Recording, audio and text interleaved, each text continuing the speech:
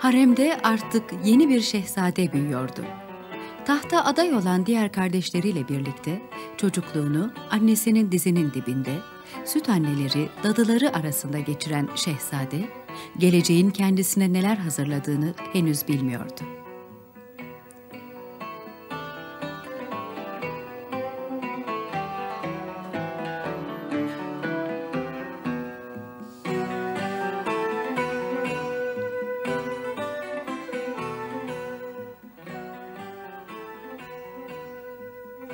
O harem bahçesinde, midilliler üzerinde ya da keçilerin çektiği minik arabalarda şen şakrak kahkahalar atıp, sim ve sırma işlemeli ipek seraser giysiler içinde, yarın ne olacak endişesi taşımadan, oyun çağının en coşkulu, en masum günlerini yaşarken, şehzade anaları zamanı geldiğinde biri dışında diğer bütün şehzadeleri neyin beklediğini bilerek, ninnilerini daha hüzünlü söylerler, çevrelerindeki süs ve görkemin anlamsızlığını giderek daha iyi anlarlardı. Ve çoğu zaman kız çocuk doğuran hasekilere gıpta bile ederlerdi. Çünkü padişahlar değiştiği zaman kız sultanlara ilişilmez, sonuçta onlar evlenme çağına geldiklerinde devletin ileri gelenlerinden biriyle evlendirilerek saray dışına gönderilirlerdi.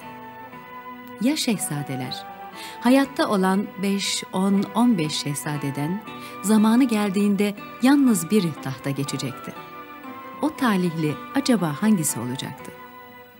Hasekiler çaresiz, kendilerini kadere ve akan zamana teslim ederlerdi.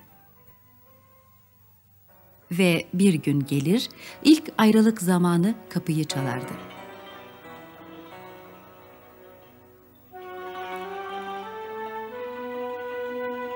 Okul çağına gelen şehzade, annesinin himayesinden alınır, Kara Ağlar Koğuşu'ndaki özel Şehzadeler Mektebi'nde ilk resmi eğitimine başlardı. Kara Hadım Ağalarının başı Darüssade Ağası'nın bir tür baş öğretmenlik görevi üstlendiği bu okulda, şehzadelere saray dışından günübirlik gelen en değerli hocalar, okuma yazmayı, Kur'an'ın yanı sıra Türkçe, Arapça, Farsça ile başlayan temel bilgileri de öğretirlerdi.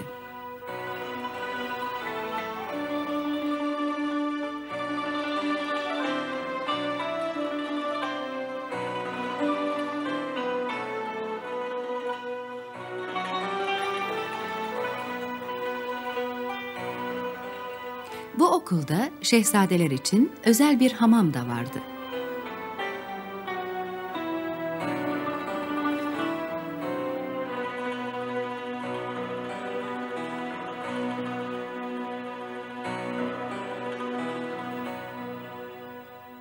Çifte kasırlar.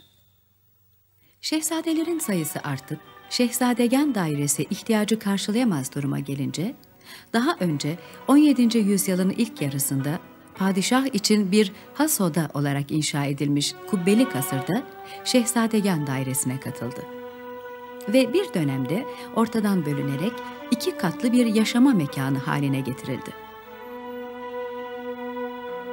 Artık erişkin bir erkek olan şehzade, emrine verilen cariyelerle birlikte günlerini burada geçiriyordu. Ancak 17. yüzyıldan itibaren haremde oturmaya mecbur edilen şehzadelerin baba olmaları kesinlikle yasaktı. Oysa 17. yüzyıla gelinceye kadar İstanbul dışındaki Trabzon, Amasya, Konya, Manisa gibi merkezlere vali olarak atanan şehzadeler çocuk sahibi olabilirlerdi.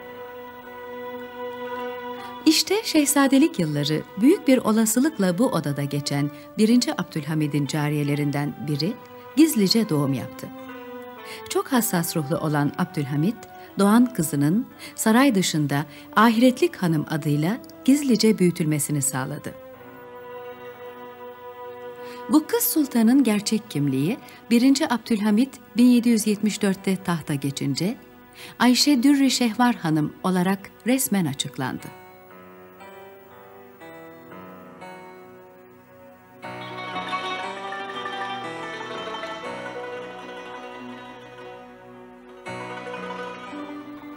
17. yüzyılın ikinci yarısında 4. Mehmet döneminde inşa edilen çifte kasırların ikincisi de daha sonra Şehzadegan dairesine katılmış bir has odaydı.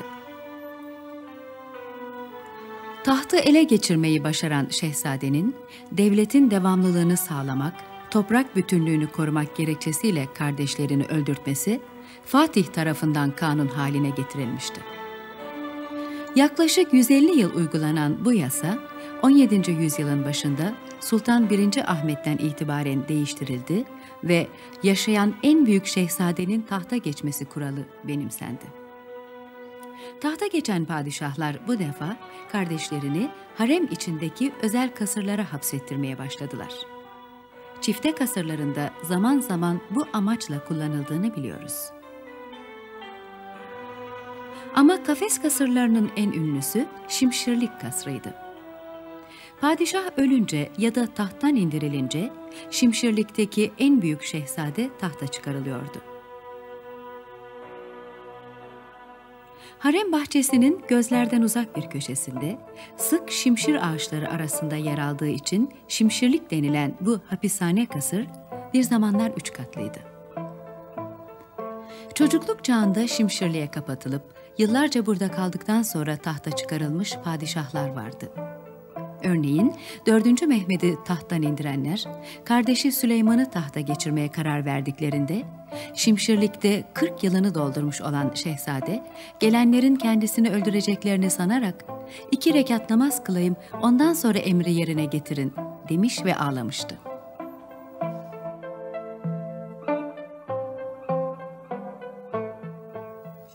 9 Kasım 1687'de 2. Sultan Süleyman unvanıyla tahta geçen 47 yaşındaki bu şehzade, kılıç kuşanma günü hünkâr sofasında beklerken acaba neler düşünmüştü?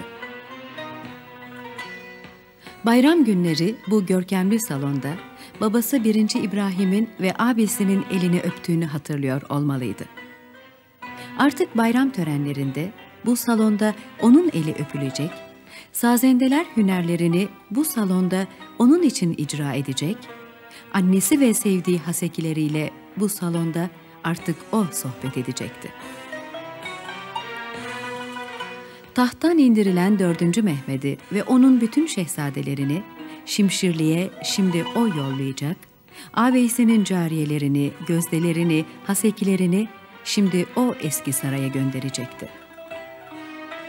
Ve eski saraydaki annesi Saliha Dilaşup Sultan'ı törenle Topkapı'ya getirtip görkemli Valide Sultan dairesine şimdi yine o yerleştirecekti.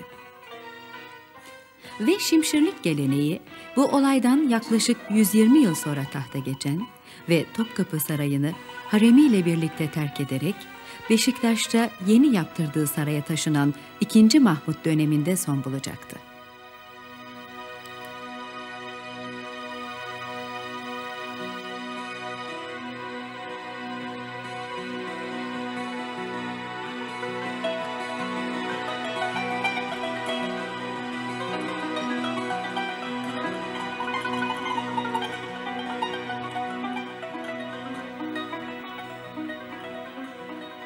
Haremde diğer odalardaki mangallara ateş dağıtımının yapıldığı sofadaki büyük ocak artık yeni padişah ve ailesi için tütecekti.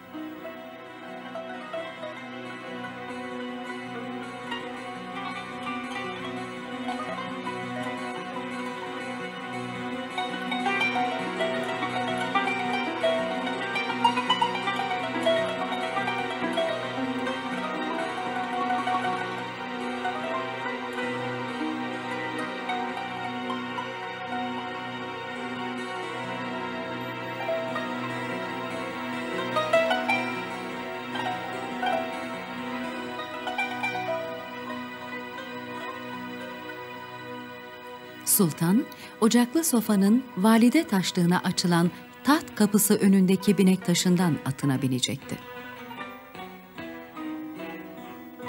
Artık haremdeki bu ilk törenini bayramlarda, özel günlerde, altın yolda yapılacak diğer törenler izleyecek, yol boyunca dizilen cariyelere çil çil altınlar saçılacaktı.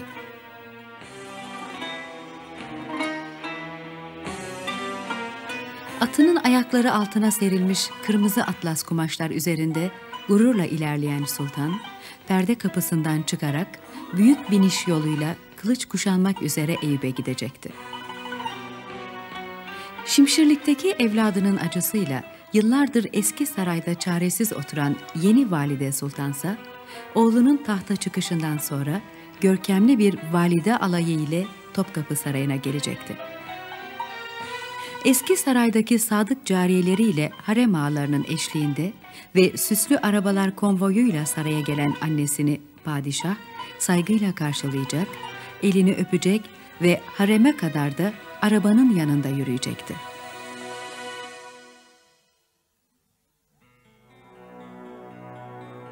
Ve yeni valide sultan, haremin en güçlü kadını olarak özel dairesine yerleşecekti.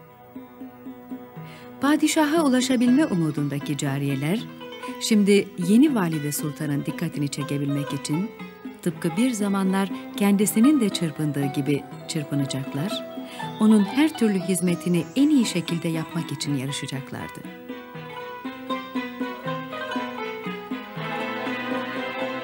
Haremde sadece Valide Sultan dairesinde yatak, yemek ve namaz mekanları ayrıydı.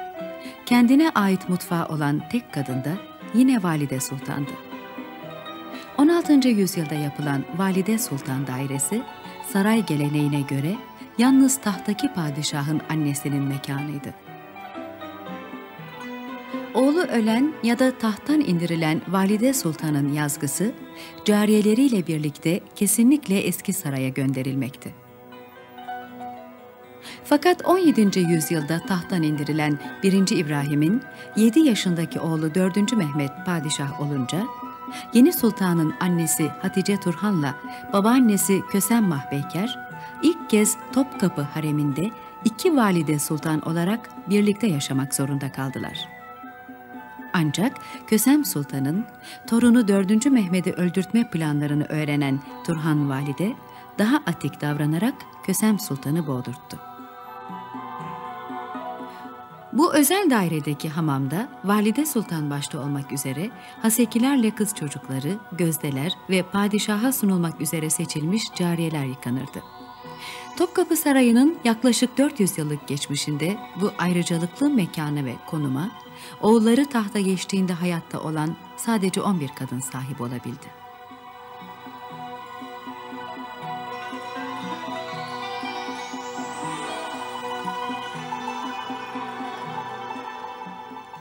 Aktenli, gümüş topuklu bir dizi mahcup cariyenin, hazinedar kadınların yönetiminde, altın taslar ve misk kokulu sabunlarla padişahı yıkadıkları hünkâr hamamı, bitişiğindeki valide hamamı ile aynı külhandan beslenirdi.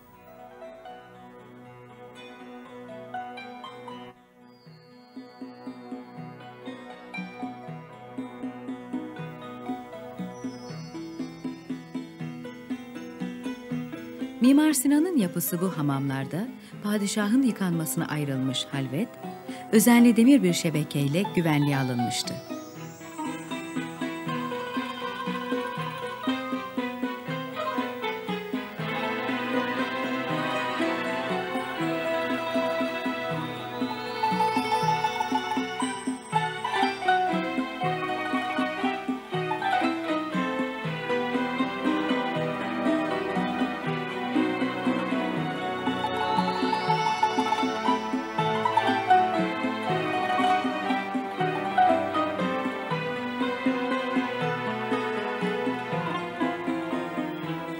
Güzel cariyelerin yıkadığı padişah buradan dinlenmek için hünkâr sofasına ya da sofadan açılan bir kapıyla 3. Murat has odasına geçebilirdi.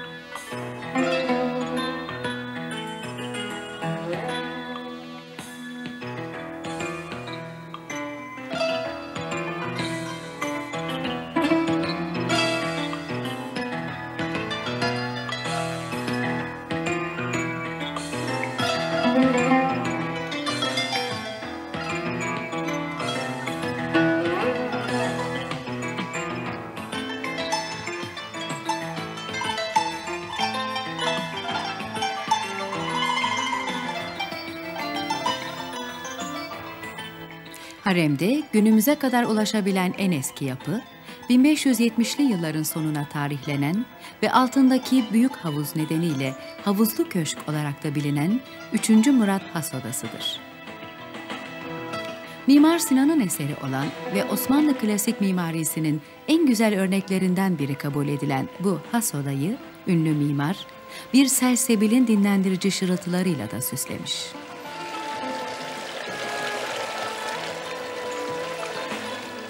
Oda geleneksel Türk evinde olduğu gibi günlük yaşamda her türlü ihtiyaca cevap verecek şekilde düşünülmüş. Yemek yeme, okuma, dinlenme, çalışma, kabul töreni hatta yatma. Padişahların önceden belirlenmiş bir yatak odaları yoktu. Kimse de onun gece nerede yatmak isteyeceğini önceden bilemezdi. Yatak herhangi bir yerde verilen direktife göre hemen hazırlanırdı. Fransız gezgin yazar Tavernier, padişahın yattığı mekanla ilgili duyduklarını şöyle anlatır. Yere değerli halılar serilmiş. Minderler, yastıklar, örtüler de birbirinden değerli. Bunların çoğunda inci dizili saçaklar var. Odada asılı avizeye rengarenk mücevherlerle süslü neceften bir top konulmuş. Padişahın yatağı geleneklere uygun. Karyola kullanılmaz.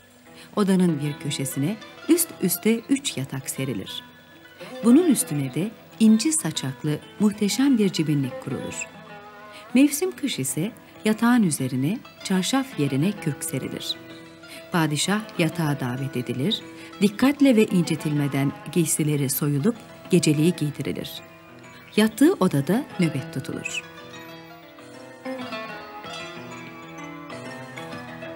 Bitişikteki has odayı 3. Murad'ın torunu 1. Ahmet yaptırmış. Yeşil çiniler ve özgün sedef işçiliği hemen göze çarpar. Sultanahmet Camii'ni yapmış olan dönemin baş mimarı Sedefkar Mehmet Ağa bu odaya da imzasını atmış olmalıdır.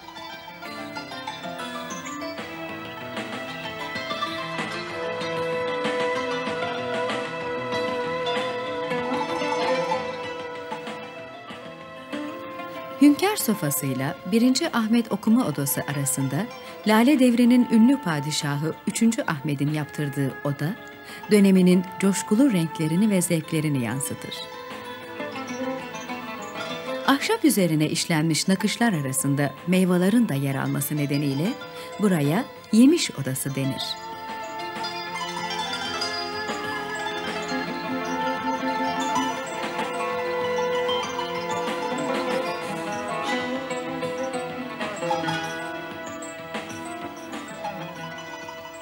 Yemiş odası bir ikinci kapıyla hünkâr sofasına bağlanır.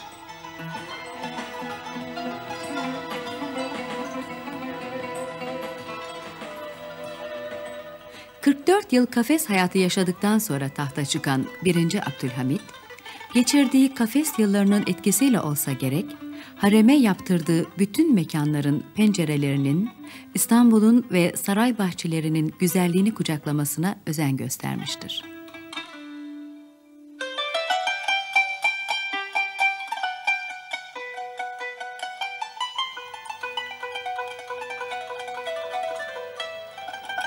Barok ve rokoko tarzı süslemelerin ağır bastığı bu mekanlardan biri de 1. Abdülhamid'in aynalı odasıdır.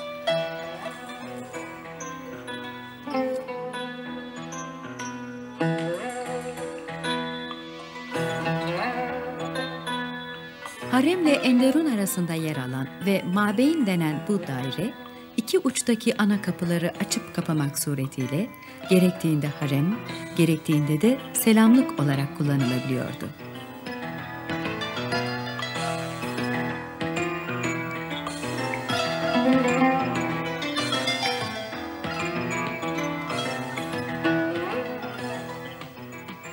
İkinci Mahmut döneminde tümüyle yenilenen ve Sultan Osman Köşkü olarak bilinen mekan da yine barok tarzı süslemelerle bezelidir.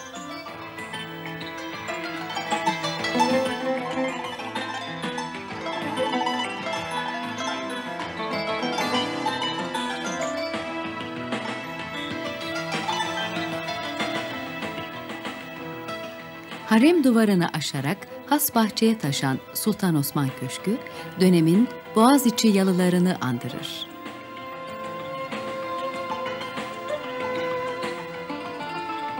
Osmanlı padişahlarının çoğu isimlerini kalıcı kılmak amacıyla başta İstanbul olmak üzere ülkenin birçok yerinde camiler, çeşmeler, medreseler, imaretler yaptırırken Topkapı Sarayı'nda da benzer bir geleneği sürdürdüler.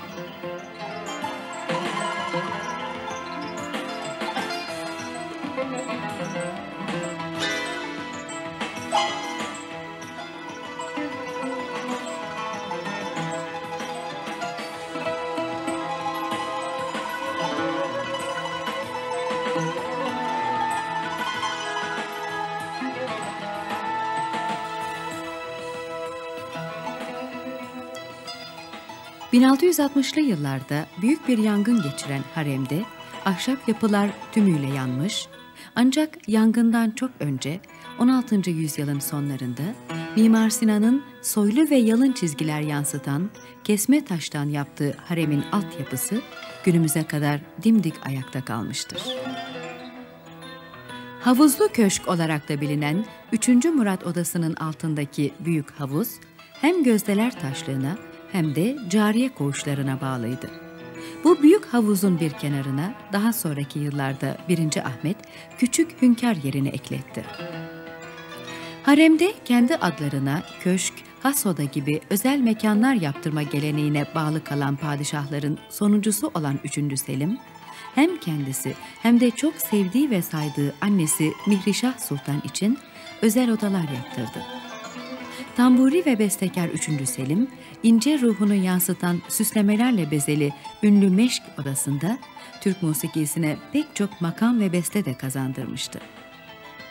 Yalvardıkça inat eder, insaf eyle gayri yeter. Üzerine pek varamam, korkarım ki kaçar gider.''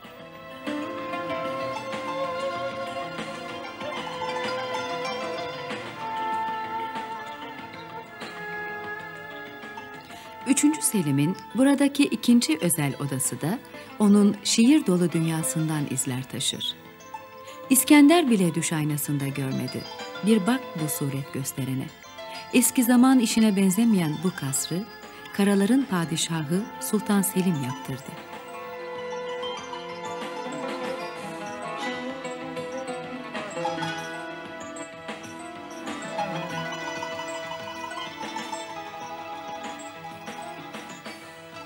Üçüncü Selim kendi odası yakınında çok sevdiği annesi için de bir oda yaptırmıştı.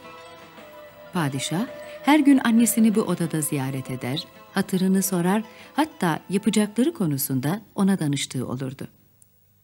Ve 1805 yılında anne Mihrişah Sultan eceliyle öldü. İki yıl sonra da oğlu 3. Selim tahttan indirildi.